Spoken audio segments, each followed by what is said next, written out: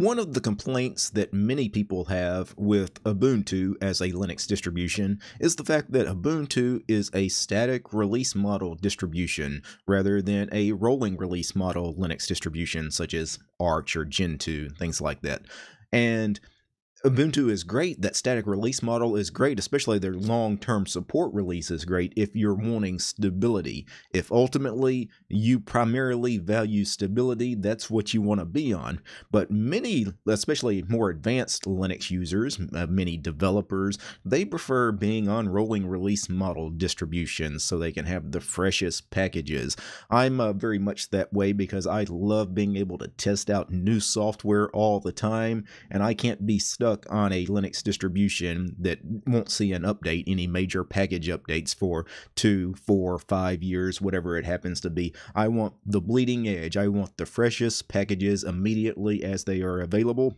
And uh, Arch, of course, is my preferred distro in this respect, but you can turn Ubuntu into a rolling release. It's really kind of a quasi rolling release. It's not bleeding edge like Arch's bleeding edge, but it gets you much closer to that. And what I'm talking about today is this utility that Martin Wimpress, who works for Canonical, and uh, he heads up uh, the Ubuntu desktop team, I believe, and he works on Ubuntu Mate.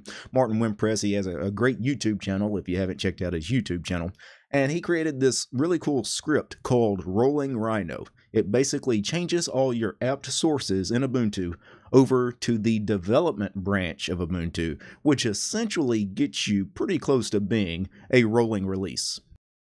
So the source code for Rolling Rhino can be found over on GitHub if you go to Wimpy's World slash Rolling Rhino over on GitHub. And if you wanted to, you, of course, you could read the source code. Rolling Rhino is a bash script. It is 178 lines long, so not a terribly long script. Basically, you can read the script if you want to see exactly what's going to happen. But really, what it's going to do is going to change the sources list. So your apt sources, it's going to change your apt sources over to the development branch from whatever standard repository is currently running on your version of Ubuntu. And I really love the logo. nice artwork. I don't know uh, who created the Rolling Rhino logo, but uh, that's a really cool logo. Martin Wimpress also put out a, a video. It's a, like a two hour long video where he goes over the process of creating uh, this particular rolling rhino utility to change over the, your sources to the development branch. And it's a really neat video. I haven't watched the whole thing, but uh, Martin Wimpress does some really good stuff. Unlike a lot of YouTube channels that you typically watch for Linux content, Martin often has a problem and he solves it. You see somebody, you know, start a, a, video and he has a problem and he tries to find a solution to it. So check out Martin's uh, YouTube channel. I, I think you'll be impressed with what he does on his channel. Now, to install this thing, you do have to be on a non-LTS Ubuntu because right now I don't believe they support switching from Ubuntu LTS over to this rolling Rhino model. Typically, you probably shouldn't have installed the LTS if you were wanting to immediately go to the next development branch anyway. And what they recommend is that you actually install one of the daily builds for the, the latest Ubuntu. And that's what I did. I, I went ahead and I downloaded the latest Ubuntu desktop daily build. So this will be Ubuntu, what will be Ubuntu 2010 eventually. I grabbed uh, today's daily build, I installed it inside virt-manager, and then to switch over to Rolling Rhino, basically we need to put three lines into the terminal. We need to run this git clone, which it just clones this Rolling Rhino repository, and then we need to cd into the new Rolling Rhino directory that will be created on our system. Inside that directory will be the Rolling Rhino script. We need to execute that script, and that's it. So pretty simple process to get this working, at least it seems to be. I haven't done it yet. Let me go ahead and fire up a VM of the latest daily image of 2010 and let's try it out. So let me go ahead and switch over to this VM. So this is a newly created VM of the latest daily build of Ubuntu. All right, and let's log in. Oh, and we're Got some interesting graphical stuff going on, but this is a VM. but the point of this is really just to see if this script actually works. So really all I want to do is I want to open up a terminal and then I want to zoom in a little bit so you guys can see exactly what I'm about to do here. Let me go full screen and I'm going to run that git clone. So I'm going to git clone https colon slash slash and it was hosted of course at github.com and the url is wimpy's world slash rolling dash rhino. I spelled everything right. All right wimpy's world slash rolling dash rhino dot git. All right let's git clone that repository. Git is not installed by default on ubuntu so i need to run a sudo apt install git I'm not sure why the Ubuntu guys don't install Git by default. Seems a little strange. A lot of Linux distributions actually don't install Git by default. I don't understand why. I think most users, once they get past like the absolute noob stage, they probably are going to use Git at some point. So Um, it's not a terribly large program. It's not like it takes up a lot of disk space. And let me go ahead, and you guys probably are not going to be able to read that because my head is in the way. So let me clear the screen, and then I'm going to run git clone and then the URL for the Rolling Rhino repository. All right, and we ran the git clone. Now we need to cd into the rolling rhino directory that is now created on our system. If I wanted to, I could run an ls and see what is in that directory. And there is this shell script, rolling rhino. Let's execute that. To execute that script, you need to do a period slash and then rolling dash rhino. And if you hit enter, it complains that you need to be root. Now that is interesting because the documentation made no mention at all that anything would need to be run as root, but it does make sense. So you have to be root, of course, to change the apt sources list. There, there's no way around that. They probably should mention that on the GitHub page just because I think some people won't know better and, and, you know when you get, get this error and it says it needs to be run as root a lot of newer users are going to say i'm never going to run a shell script that i can't even read because i don't read bash scripting. I, am not going to run that as root. It might break my system. So I, I think they need to point out yes you do have to run this as root. All right and we get some information here. And this is interesting. So lsb release detected ubuntu detected ubuntu groovy gorilla that is what 2010 will be called. Development branch is detected. We're running the Ubuntu desktop. Now, we could have run this on Kubuntu, Lubuntu, Ubuntu Budgie, Ubuntu Mate. Uh, I'm on mainline Ubuntu for purposes of this demonstration. It says there are no PPAs detected. This is good. Now, that is good because this script may or may not, I don't think it detects your PPAs. So if you had a bunch of PPAs added and then tried to do this, you could run into some issues. So it does say all checks have passed. Are you sure you want to start tracking the development series? And by default, it's set to no. So we do have to type Y to confirm that yes, this is really what we want to do.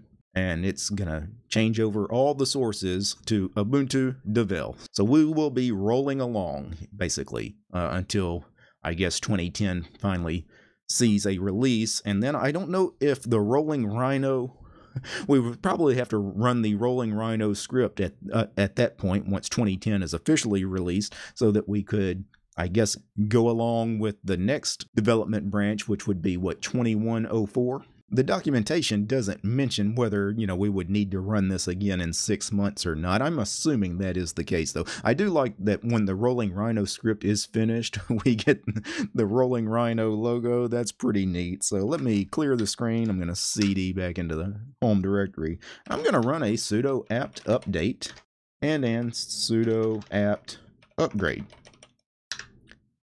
So I, I just want to run this to see if there are any errors, and it does we do have some errors. It says conflicting distribution.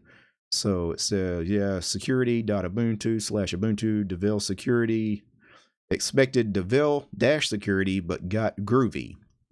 So it was expecting a, a certain repository here, and it was it's getting something else. So I, I, need to investigate this error a little bit and see if I can solve that. Even with these errors, these conflicting distributions, I wonder if I could still do like a sudo apt install. I, I don't think I've installed anything on the system other than git. I don't think vim, is vim installed by default on Ubuntu? I don't think so. So let me go ahead and install it. I mean, it's pulling everything down. Yeah, so everything seems to be working. I, I still don't like that. I, I do get that that error though on the uh, the sudo apt update and these conflicts. I'm glad I, I did get this error though on camera, and this is something to consider because this is a brand new installation. I installed uh, the 2010 daily build just for purposes of this video. You guys that have been running something for a while and maybe you've added a bunch of PPAs and everything, I mean, you could run into some real problems here. And that is something that really needs to be considered. So, you guys that want to run the Rolling Rhino, there's a couple of things you really need to understand. First of all, Rolling Rhino isn't really a rolling release model in the traditional sense because uh, this is basically the development branch of what will be 2010 at some point there'll be a feature freeze you know packages will quit seeing you know updates uh, and then after 2010 is released there will there will be a few weeks where there's no 2104 development branch in existence yet. So, out of this six month release cycle, really only looking about four to five months of actually being a rolling release, and then there's some downtime. Also, this is very much alpha slash beta quality software during this time. And you have to understand that you are on your own with Ubuntu Rolling Rhino because this is not officially supported, right? This is the development branch.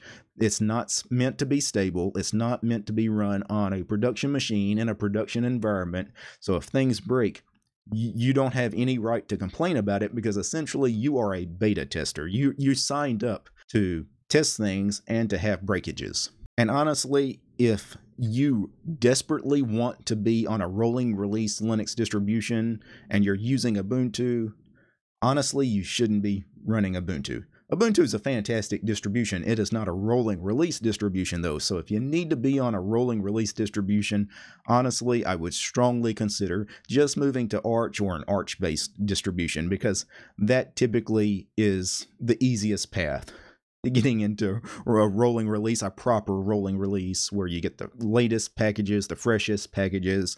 Arch tends to be more stable these days. I, I, very rarely have any of my Arch systems break on me. Typically, if I have a breakage from an update, it's something minor, something that can be fixed within a couple of minutes. I've never uh, had like a machine that was completely broken and I had to format the drive and reinstall because of a bad Arch update. So if you want to be on a rolling release model, I would consider Arch Linux especially. Some other things you could consider. I mean, you could consider Gentoo if you don't mind a source-based distribution. You could consider Debian SID. You can consider OpenSUSE Tumbleweed. I think you would be happier on those because those would be an actual rolling release Linux distribution, not one that's quasi rolling release. And those would actually be supported, especially on something like Arch or Gentoo, because they only have one model. They have a, a rolling release model. They don't have a stable model.